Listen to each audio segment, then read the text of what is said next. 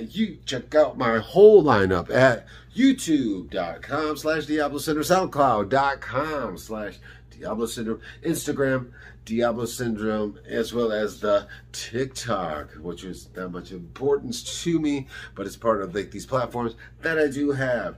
Go there, just do a deep dive. As I always say, check out some new tracks, which I have out now. SoundCloud.com slash Diablo Syndrome. Check out these new tracks. Go to my YouTube. There's always a list of new videos that I'm putting out.